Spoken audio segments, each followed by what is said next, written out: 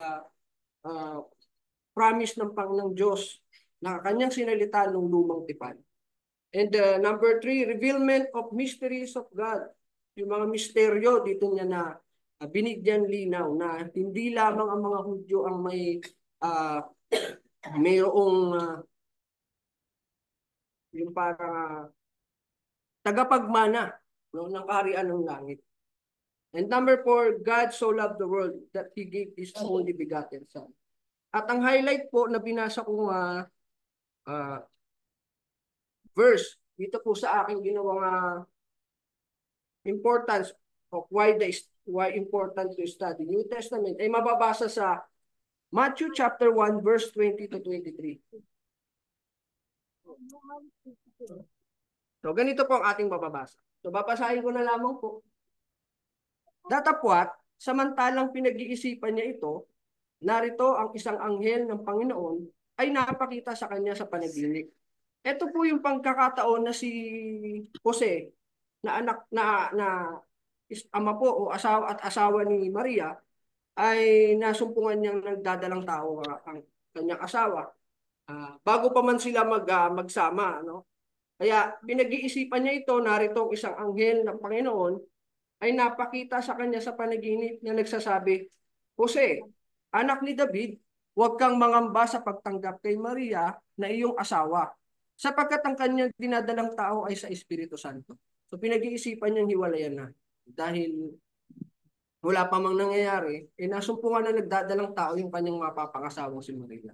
So alam niyo naman po yung istorya, no? Ngunit sabi sa kanya ng anghel, huwag kang mangamba sa pagtanggap sa kanya, sapagkat ang kanyang dinadalang tao ay sa Espiritu Santo. At siya ay manganganak ng isang lalaki, at ang pangalang itatawag mo sa kanya ay Jesus sapagkat ililigtas niya ang kanyang bayan sa kanilang mga kasalanan. At nangyari nga ang lahat ng ito upang maganap ang sinalita ng Panginoon. Paano ating bread and ano?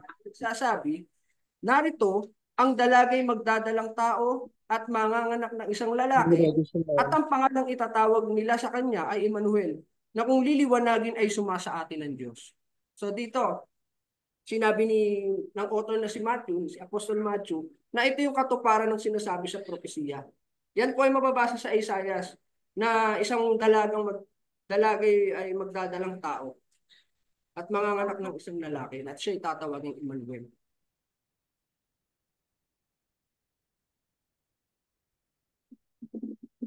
Sayang po, hindi ko po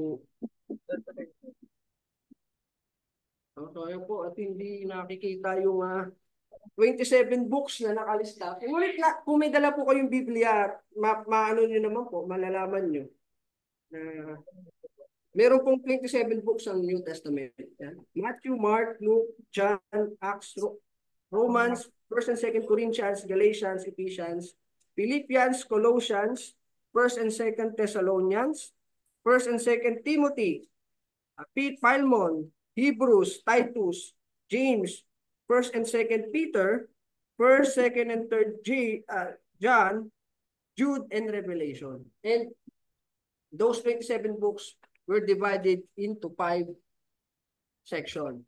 No? Yan po ang ginawang sa ano ng ng uh, scholars, no? Yung unang book is the four accounts of gospel. Ayan po yung Mark, uh, Matthew, Mark, Luke, and John. Yan po yung synoptic gospel kung tawagin. And the history, nilagay po dyan yung Acts of the Apostle. Diyan po mababasa yung mga kasaysayan nung ginawa ng mga apostol. Pagkatapos silang uh, mapuspos ng Espiritu Santo, makapag-convert ng mga libu-libong mga malanampalataya sa Jerusalem.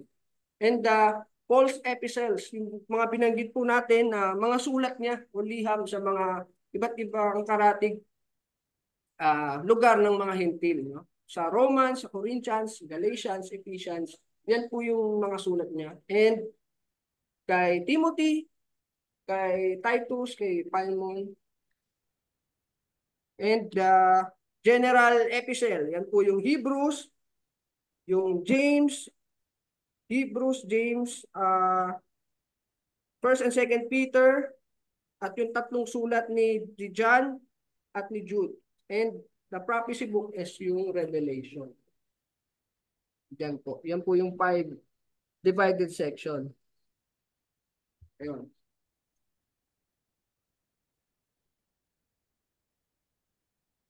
Ayun po.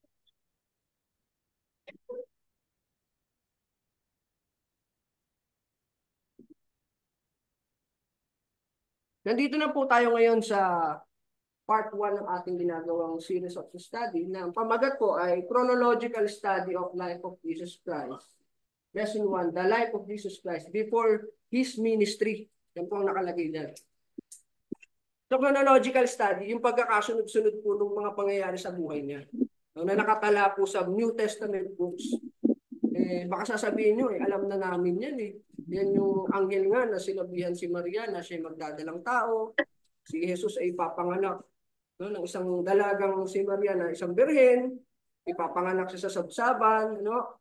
So kung ikikwento lang po natin ng ganun, eh malamang nga alam niyo na po yung istorya.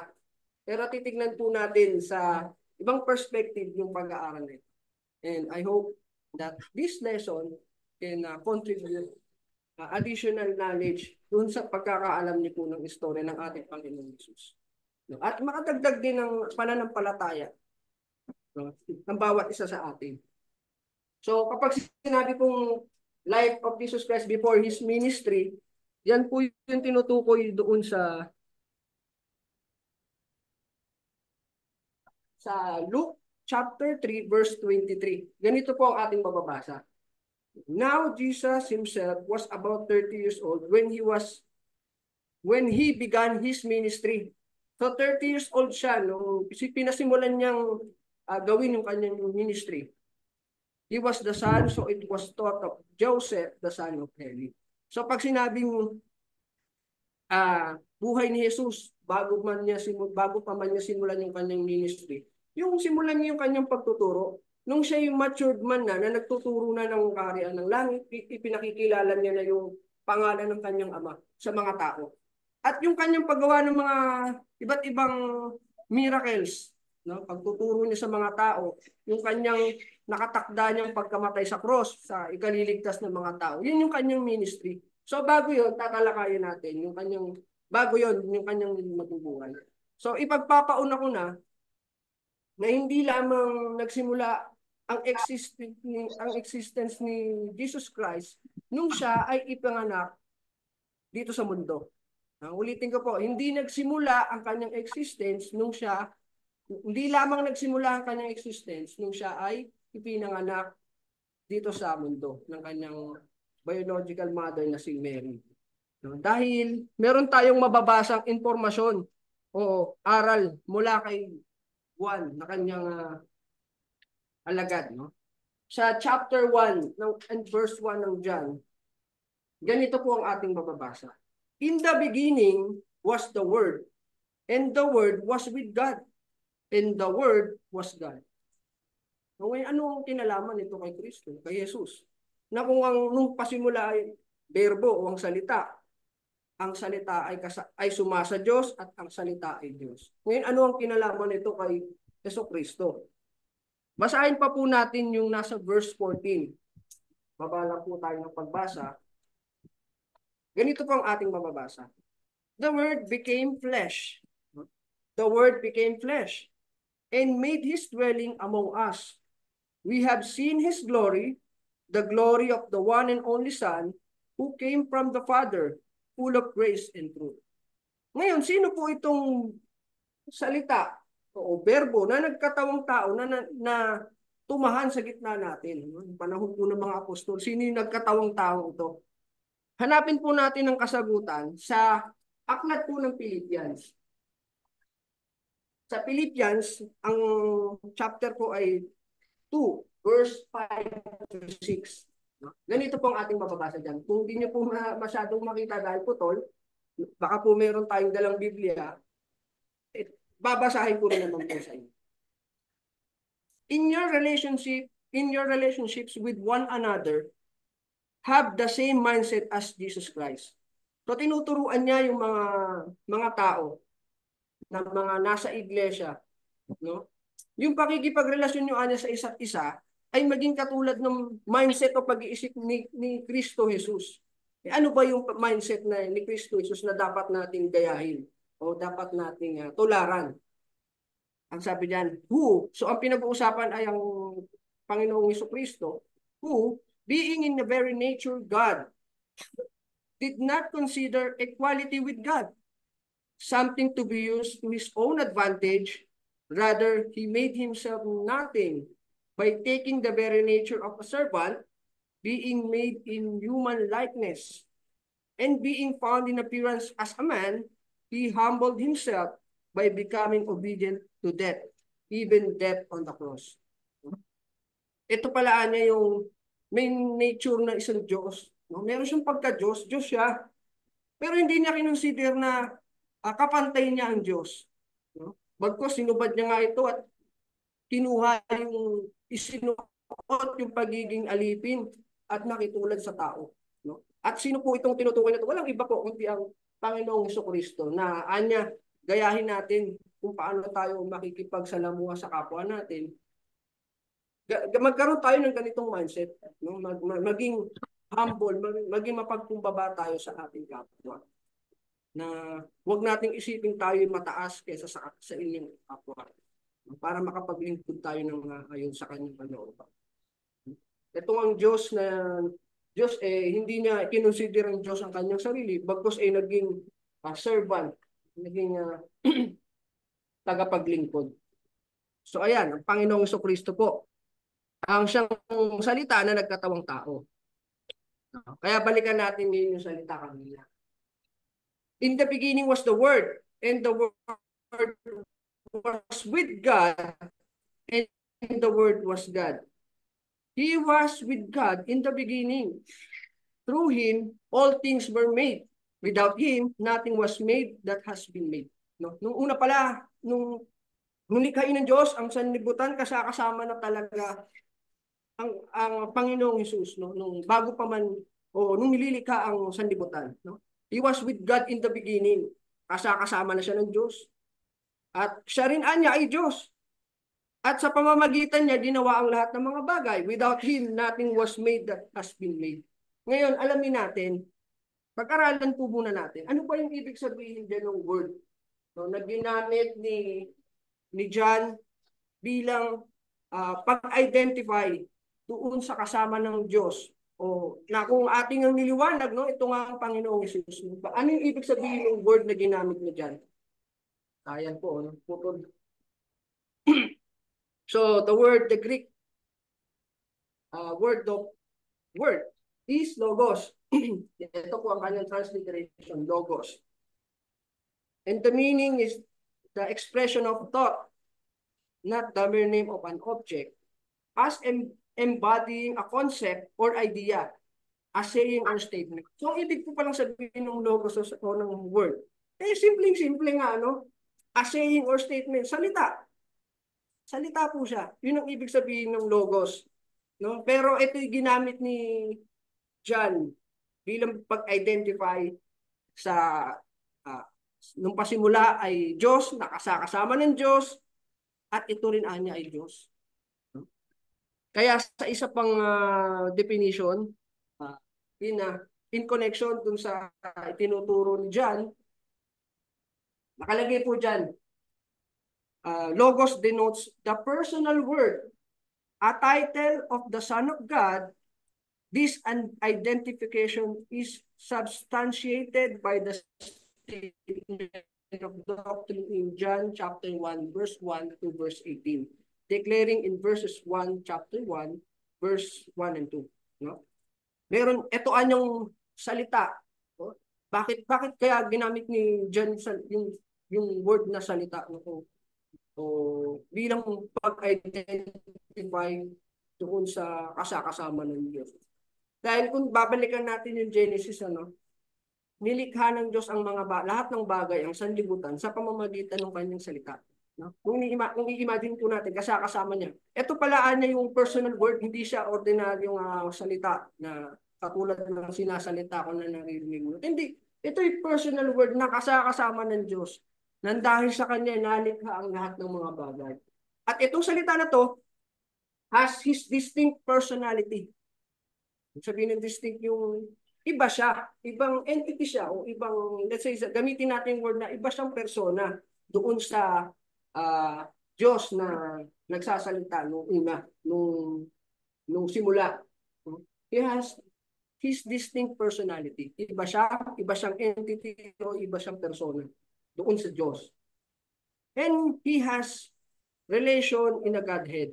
No? Yung cross, yung cross, no? yung transliteration na kasakasama o yung pag translate niyo po yung English word na with, not merely company but the most intimate communion. Talagang kasakasama niya nung pasimula nung likhain ng lahat ng mga bagay. No? His, he has uh, his deity, yung kanyang pagka-Diyos. No? Dahil hindi dahil ang sabi nga doon sa verse 3, no? Ang lahat ng mga bagay ay ginawa sa pamamagitan niya. Meron siyang kapangyarihang lumikha, no? Something that uh, Diyos lang ang nakakagawa. Na, na, meron siyang kakayahang lumikha. No, baka sabihin ho ng iba, no, eh, ang tao rin naman, kayang lumikha ng uh, sasakyan, nakakalikha tayo ng sasakyan, telepono, cellphone, mic. No? Sabi nga sa Hebrew, may nagtatayo ng bahay, pero ang katotohanan, Diyos din naman ang nagtatayo.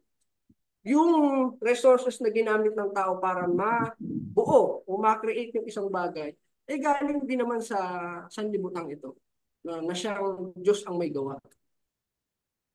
Kaya siya ay Diyos, meron siyang ano siya, deity, o meron siyang pagka-Diyos. Incarnation, no? May kakayahan siyang siya ay nasa pagkaka being God, no? Eh inilagay niya ang kanyang sarili sa pagiging alipin na nakitulad sa tao. Para matupad yung uh, uh, kalooban ng kanyang ama na iligtas ang sangkatauhan. Yan yung something na magagawa lamang ng uh, magagawa ng Diyos. Ng salita na kasakasama ng Diyos nung pasimula. At mismo sa sa kanyang pananalita no, ng ating Panginoong Isus sa John chapter 17 verse 5 tapos babasahin natin yung verse 24. Ganito po, pakinggan niyo po ang aking babasahin. And now, Father, glorify me in your presence with the glory I had with you before the world began. Basahin natin sa Tagalog. Bago man niya, bagoan niya, ma matatag ang sanlibutan. At ngayon, Ama, luwalhatiin mo ako sa iyo rin ng kaluwalhati ang aking tinamo sa iyo bago ang sanlibutan ay naging gayon. Ha? Meron na siyang itinamong uh, kaluwalhatian. Sabi niya, aking tinamo sa iyo bago ang sanlibutan ay naging gayon. So nag-i-exist na siya bago pa man magkaroon ng sanlibutan o ma-create ang mundo. Sa verse 24, Father, I want those you have given my glory, the glory you have given me, because you love me before the creation of the world. Sa 24,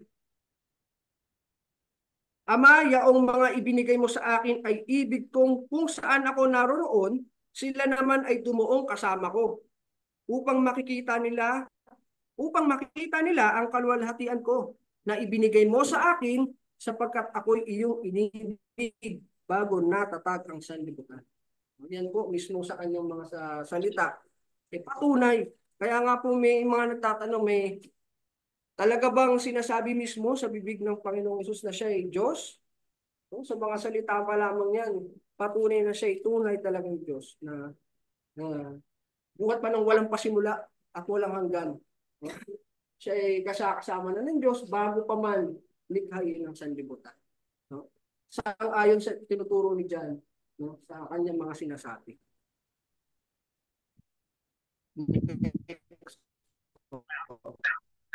Ngayon, so hindi pa naman po mahaba. Pag-aralan po natin yung genealogy of Jesus bago pa man yung kanyang kapanganakan, ano? Tapos, uh, tatalakayan na natin yung kanyang ministry. So, pag-usapan muna natin yung genealogy of Jesus. Ibig sabihin po yung kanyang linya ng kanyang angkan. Ah, ano ba yung ating matututunan dito sa kanyang ah, ang kanyang kanyang lahi? Tanungin natin, why did why did they take time to write it? No? Si ang tinutukoy po diyan si Matthew and Luke. Kasi kung sasalagsigin po natin, si Matthew and Luke ang nagbigay ng genealogy o nagsulat ng genealogy ng Panginoong Hesus. No? Bakit bakit sila nag naglaan ng oras para isulat pa talaga yung linya o ng angkan ng Panginoong Hesus? No? Ito po ang sagot. Dahil sa salitang ito ng Panginoong Diyos na mababasa natin sa 2 Samuel chapter 7 uh, verse 12 to 13. Sabi po diyan, when your days are over. Ah, bago po yan, yun, yan po pala ay salita ng uh, Diyos kay Propeta Nathan na ipinapasabi niya kay David. No, sabi ni sabi ng Panginoon kay Nathan, ito ito ang sasabihin mo kay David, kay King David. When your days are over and you rest with your ancestors. Sabihin ko, pag ikay namatay na, I will raise up your offspring to succeed you, your own flesh and blood. And I will establish his kingdom. He is the one who will build a house for my for my name, and I will establish the throne of his kingdom forever. Ito anya yung magtatayo ng bahay na nauukol sa sa kanyang pangalan. Sa Tagalog po, pagka ang iyong mga araw ay naganap at ikaw ay matutulog na kasama ng iyong mga magulang, aking ibabangon ang iyong binhi pagkatapos mo na magmumula sa iyong tiyan ng aking itatat at aking itatatag ang kanyang kaharian. Kanyang ipagtatayo ng bahay ang aking pangalan at aking itatatag ang luklukan ng kanyang kaharian magpakailanman. So ito, yung, ito pala yung salita ng Diyos na sa binhi ni David, magmumula yung pagtatayuan ng Diyos ng kaharian. I will establish His kingdom. Yung anyang ipanganganak mo. Yung sariling laman at dugo. Ako magtatayo ng kanyang kaharian. At siya ang magtatayo naman ng bahay no, na uukol sa aking pangalan.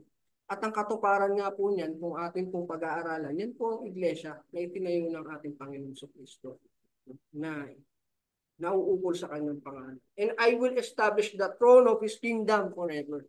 Kaya, kailangan nating mapatunayan na si ang Panginoong Sus talaga ay nanggaling sa balakang ni ni uh, Haring David, ano, pakalalim na Tagalog. Ang ibig sabihin po, nanggaling siya sa lahi. Kaya, yan, bilang katuparan ng salita ng Diyos na ito. No? But in uh, in the New Testament, there are two accounts of genealogy of Jesus Christ. No? Isa dyan, mababasa natin sa Matthew chapter 1, verse 1 to 17, and Luke chapter 3, verse 23 to 38. So ano yung ating uh, pagbabasihan para ma matuntun natin na siya talaga ay may connection o siya ay nanggaling sa linya o angkal ni no? So, basahin natin yung muna, yung chapters, uh, verse 16 ng chapter 1. Unahin natin basahin yung genealogy ni Matthew. Pero doon na po sa dulo, sa verse 16.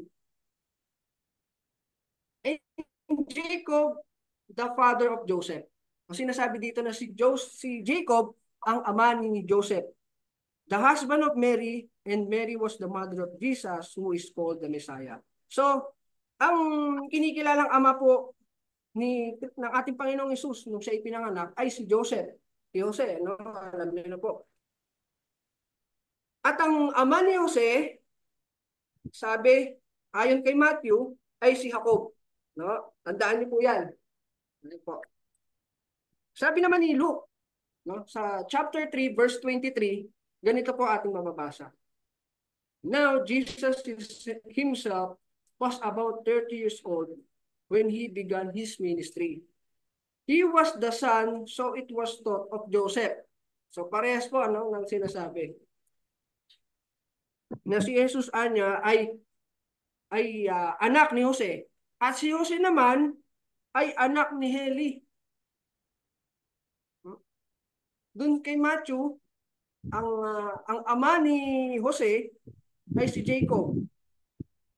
At ang ama naman ni Jose, sangayon kay Lucas, ay si Eli. So, sino ba talaga yung ama ni Jose? No? Ano ba talaga ang ito ba'y contradiction, no? Yun nga ang uh, yan nga isa sa mga critics ng Biblia eh, na meron daw anyang error ang Biblia sa, sa pagsulat ng mga writers. Eh, kahit tulad mo niyan, sabi ni Matthew, ang ama ni ni Jose ay si Jacob. Kay Lucas naman, ang ama ni Jose ay si Eli. No? Pero bago po natin uh, alamin ang kasagutan kung bakit, bakit nagkaganon, no? nasa gusto ko lamang sabihin na maraming attempt na or explanation of harmonizing uh, this uh, genealogy of Jesus Christ. Marami pong paliwanag na ginawa ang mga tao tungkol po dyan.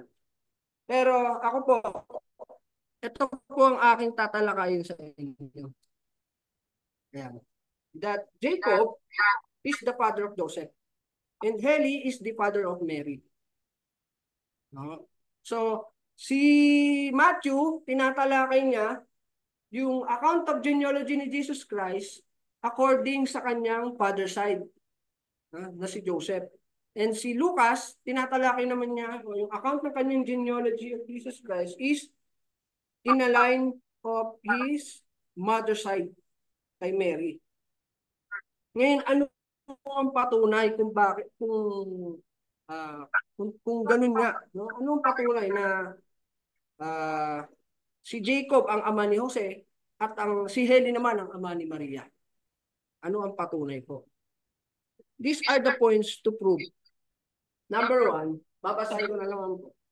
Matthew's manner of writing regarding annunciation of birth of Jesus Christ was through Joseph's perspective. No? Number two, Luke's manner of writing regarding Annunciation of birth of Jesus Christ was through Mary's perspective. In Matthew chapter 1, verse 18 to 25, hindi ko na basahin ng sa Biblia no dahil para po hindi na po masyadong humaba. Pero ito po yung pag uh, yung perspective ni Jose ang kanyang tinatalakay kung kung paano nakipag-usap ang anghel kay Jose, kung ano yung naramdaman ni Jose, ha? ano yung naging reaksyon ni Jose nung mabalitaan niya yung uh, yung balita mula mula sa anghel. No, kung paano niya tinanggap si Maria bilang kanyang asawa, no, matapos yung malaman na ito pala ay sa Espiritu Santo. So, perspective ni Jose, yung tinatalakay dito ni Matthew. Tulad niyan, Mary was found with child the Holy Spirit. So, yan po yung nangyari. Joseph, as her husband, being a just man, no, siya matuwid na tao, was minded to put her away. No? Ikinikwento yung perspective ni Jose na nung malaman niya, bilang siya ay matuwid na lalaki, eh, pinag-iisipan niya ng hiwalayan niya yung kanyang asawa. Yun yung perspective ni Jose na ikinikwento ni Matthew. An angel appeared to Joseph in a dream saying that the child conceived by his wife is of the Holy Spirit. Do not fear to take her as your wife. Yan po yung nangyari yung kasunod. Ano?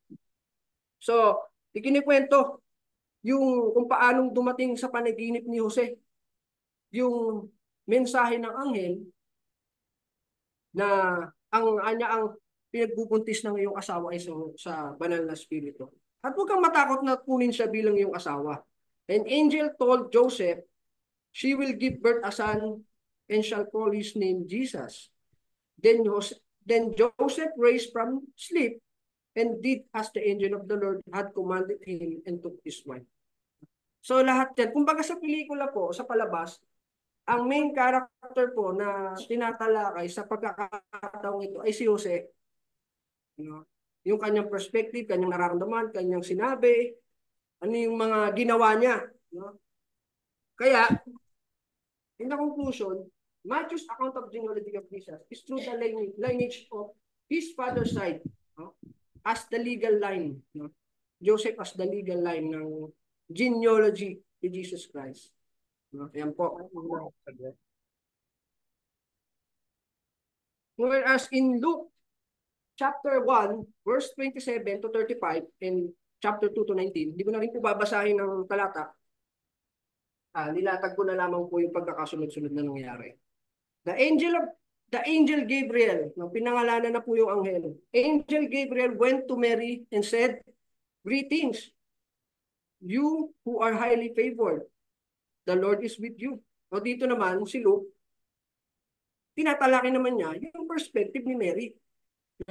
Na kung paano yung anghel ay nagpunta kay Maria upang ibig ibalita, ipadala yung balita na siya magdadalang tao.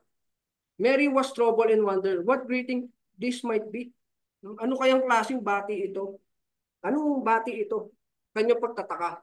The angel told her, Do not afraid.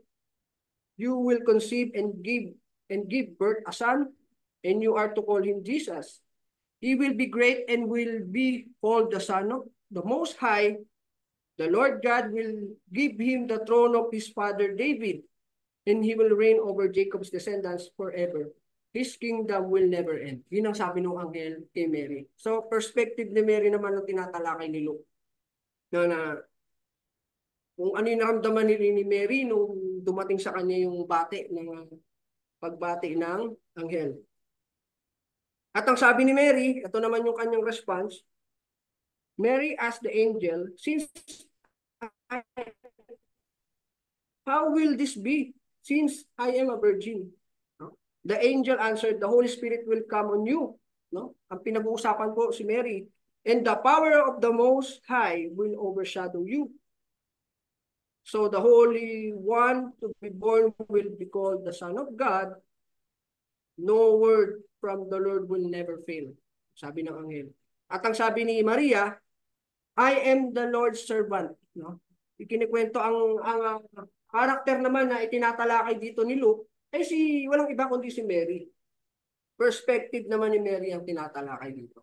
Ang sabi, ang sabi ni Mary, I am the servant of, I am the Lord's servant. Mary's answered, May your word to me be fulfilled. Then the angel left her.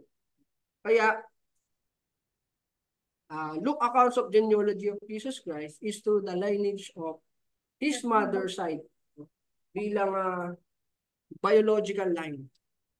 Kasi si uh, walang wala namang uh, hindi nga uh, dugo at laman na ni ni Jose, no? Hindi man hindi man siya nakakapag-contribute ng kahit anong cell dun sa panganak ni Maria, no? Sa sanggol na ipinanganak ni Maria. Kaya ang biological line ng Panginoong Hesus ay galing sa linya ng angkan ng kanyang ng kanyang ina na si Maria. Ayan po. But the next question would be why did Luke say that Joseph was who was the son of Heli?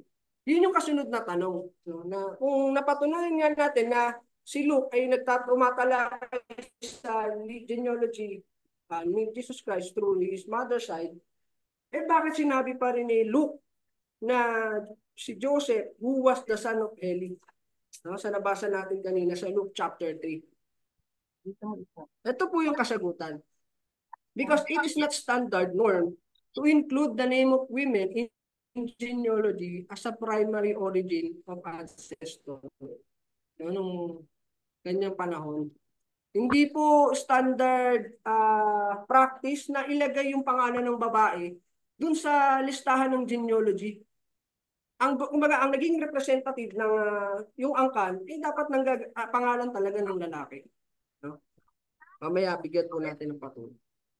And the next uh, the other Another uh, answer. Joseph was a son of Heli by the virtue of his marriage to Mary. Naging anak na rin siya ni Heli. Dahil siya ay naging asawa ni Mary ng kanyang uh, biyanan. So, kaya tinatawag siyang uh, son of Heli because kasal sila ng kanyang anak na si Maria. Mababasa po natin in First Chronicles chapter 2 uh, verse uh, 2 uh, chapter 2 verse 34 to 36.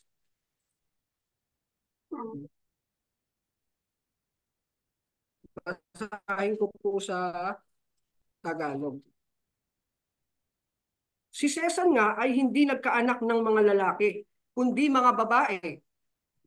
At si Sisan ay may isang alipin na taga-Ehipto na ang pangalan ay Jara. At pinapag-asawa ni Sisan ng kanyang anak na babae kay Jara na siyang alipin at ipinanganak niya si Atay sa kanya. No? At sa verse 36, at naging anak ni Atay si Nathan at naging anak ni Nathan si Sabat. So, doon na nagpatuloy yung listahan ng genealogy sa First Chronicles. Dahil wala siyang anak na lalaki, uh, only daughters, meron siyang servant na Egyptian servant na si Jara, eh pinapag-asawa niya yung kanyang anak na babae sa kanyang alipin na si Jara. At nung nanganak ngayon, yung uh, kanyang alipin na si Jara at yung kanyang anak na babae, nanganak, pinanganak si Atay. At kay Atay na nagsimula yung linya ng genealogy niya. Dahil nanganak na sila nung lalaki, na si Atay. Doon na nagpatuloy yung kanyang lahi. Ano? Atay was the father of Nathan, Nathan was the father of Sabat, and so on. Yan na po nagpatuloy yan. So, it is not standard talaga na ilagay po yung uh, pangalan ng babae sa genealogy ng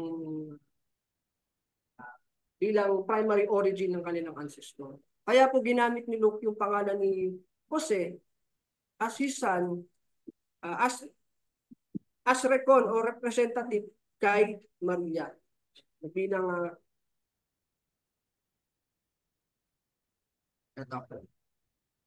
ito po yung genealogy ni Matthew na mababasa natin sa chapter 1 verse 1 to 17. Kung babasahin po natin yan sa uh, sa Biblia, no? Abraham ay Anak ni Abraham si Isaac, anak ni Isaac si Jacob, anak ni Jacob si Judah, ganun po ang pagkakasulat. Pero yan po, nilista ko po. Doon sa verse 17, sinasabi diyan, basahin po natin sa verse 17. Sa Matthew verse 17, ang sabi, Thus there were 14 generations in all from Abraham to David. 14 from David to the exile of Babylon, and 14 from the exile to the Messiah. So, hinati-hati po. Kung babalikan natin, sabi, 14 generation, sayang po kasi, 14 generation from Abraham to David. No? 14 po yan. Yan po si Abraham, Isaac, Jacob, Huda, Judah and his brethren, si Pares, Hezron, Ram, Aminadab, Nashon, Salmon, And 14, 14 generation from David up to the time of Babylonian captivity. Nung nasa ako ng or nag nabihag ng Babylon yung bansang Israel yung panahon ng mga hari. So, yung panahon na yon. So, diyan sa 14 generation, ito po yung listahan. Hanggang sa panahon ni Hosea. Diyan nangyari yung time of Babylonian captivity. And another 14 generation to the from the time of Babylon captivity up to the up to the Messiah, up to Jesus Christ. Yan po si Jeconiah, si Atel, hanggang makarating po kay Jesus. Ayan po yung uh, genealogy ni Jesus Christ according to Matthew. Kung nangyaring problema, pagdating po dito sa uh, sa panahon po ni King Jeconiah, nagkaroon po ng problema dyan dahil sinumpa po ng Diyos yung kanyang magiging lahi. Yung kanyang darating na angkan sa kanya. Pag-aralan po natin kung ano po yung nangyari nung panahon po yun. Ito po yung uh, salita ng Diyos sa kanya. No? Sa, mababasa natin sa Jeremiah chapter 22, verse 24 to 30. No? As I live, said the Lord, Do Konaya, the son of Jehoiakim, king of Judah. Diyan po, ah, sinabi na Konaya. No? Si Jekonaya o Jekonaya ay isang tao po. Pero dyan po eh tinawag siyang Konaya, the son of Jehoiakim. Yan po ay King James Version. Ang salita naman na ating mababasa, As surely as I live, declares the Lord, even you, Jehoiakim, tinawag naman siyang Jehoiak, Jehoiakim, the son of Jehoiakim, king of Judah. So, Jeconiah, Conias, Jehoiakim, yan, isang tao po. Ngayon, basahin po natin sa Tagalog. Ayan. Sa verse 24, ganito po ang pasimula. Sabi ng Diyos, buhay ako, sabi ng Panginoon. Bagaman si Conias na anak ni Jehoiakim, Jehoiakim, na hari ng Huda, ay maging singsing na panatak sa aking kanang kamay, aking niyang huhugutin ka mula roon. At aking ibibigay ka sa kamay ng nagsisikusik sa iyong buhay, sa kamay nila na iyong kinatatakutan, sa kamay na sa kamay ni Nebuchadnezzar na hari ng Babylonia. Sa English po, Nebuchadnezzar na hari ng Babylonia sa kamay ng mga Kaldeo. So ito pala, so ito pala yung sumpa, ito yung gagawin ng Diyos sa kanya.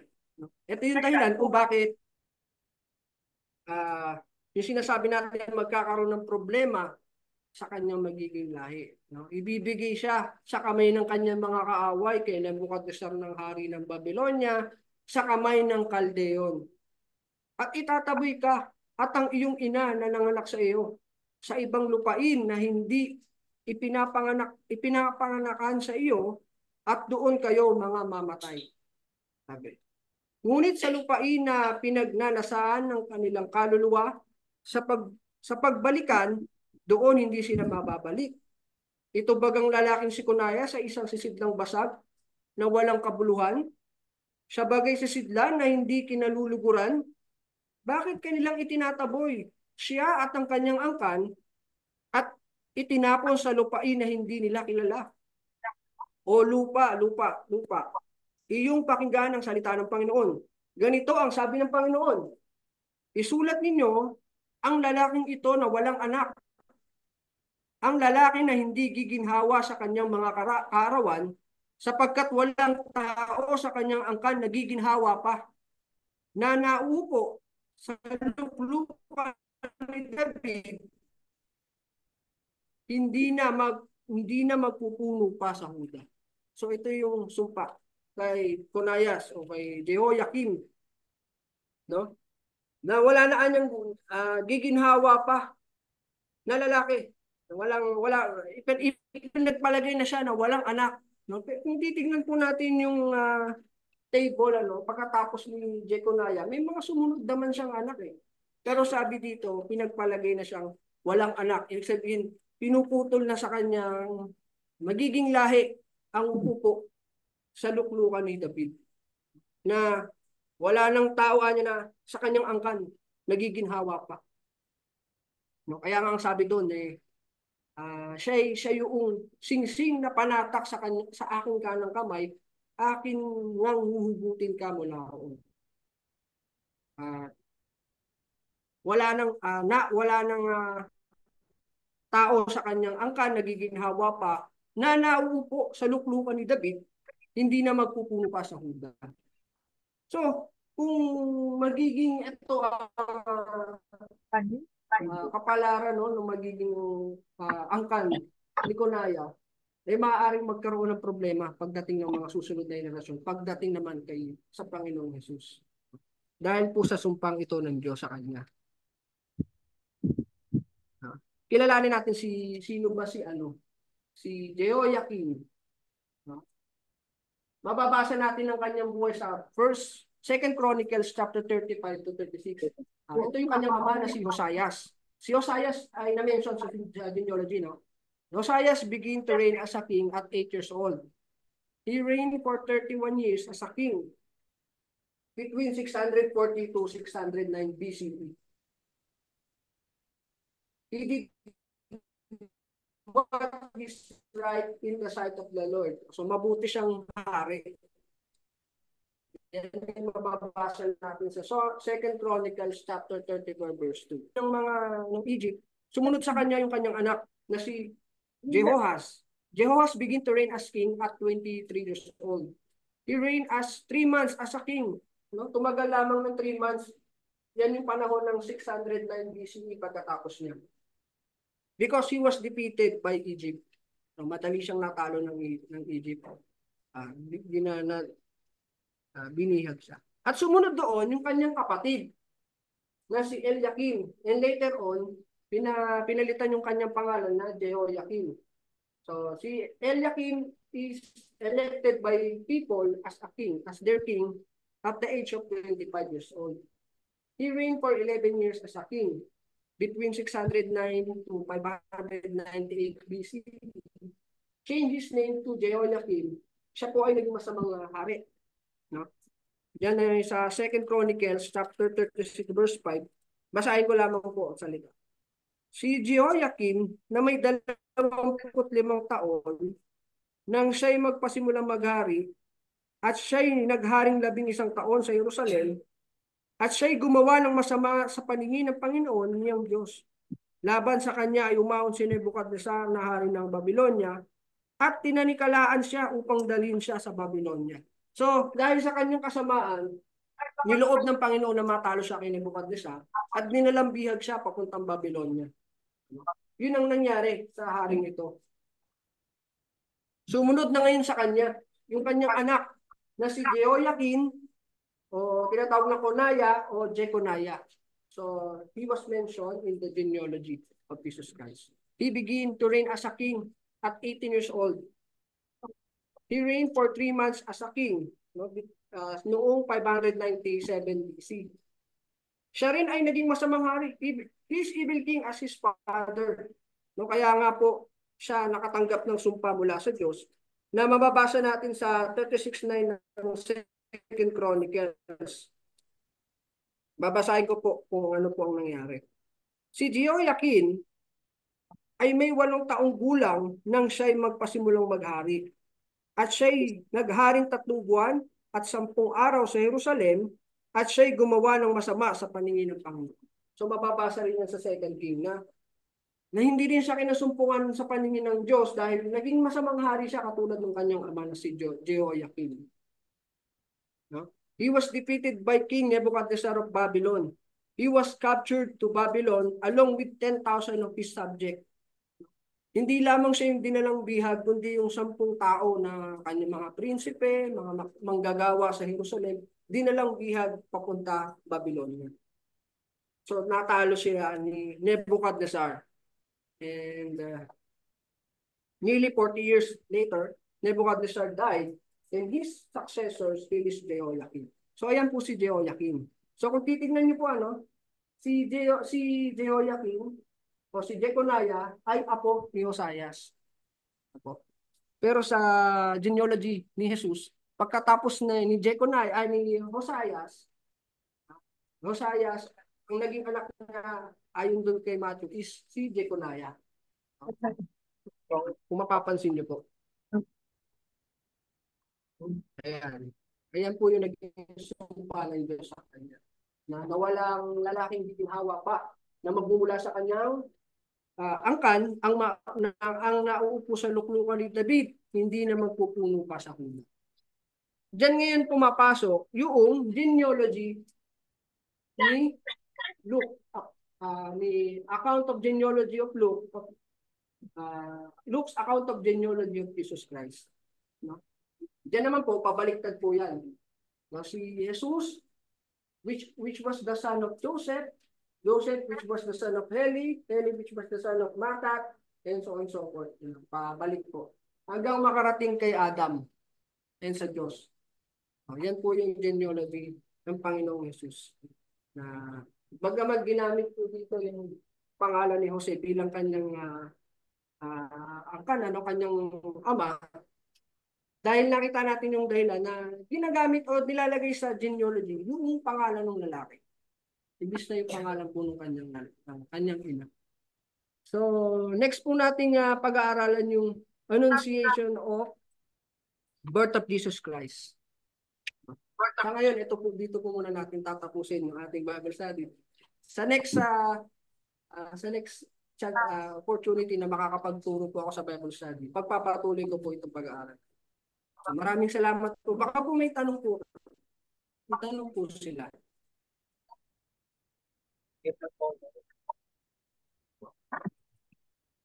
So, kung wala po, maraming salamat po. Magandang umaga.